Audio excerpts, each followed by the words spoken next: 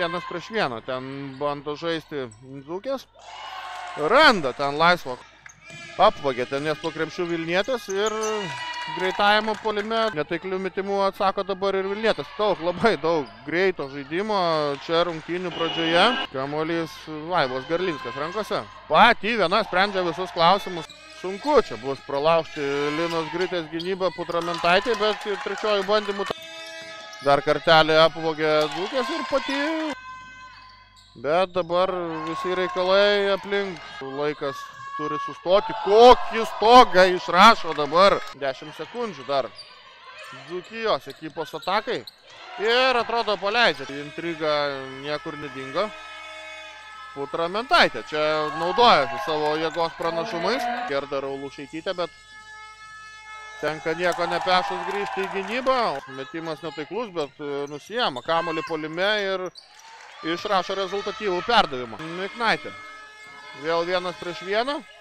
Ir dar du, du, jos taškai. Netaikliomis atakomis. Bobinaitė iš toli, trys taškai. Raulušaitytė ten irgi atakos tiesinių neranda, bet atsako trim taškais. Čia bando į greitą polimą dabar pereiti Miknaitė.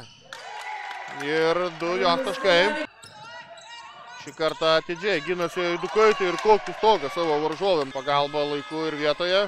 Putramentaitė įridena dar du taškus. Tai yra apie minutės per traukėlę Litiškiam, bet atrodo to neprireiks.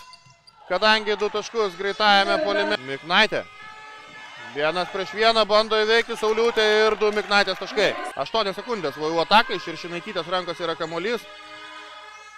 Ir randa laisvo apie metimą, atakos tiesinių nėra. Dar vienas tritaškis bandymas ir atrodo uždaro šitas rungtynės.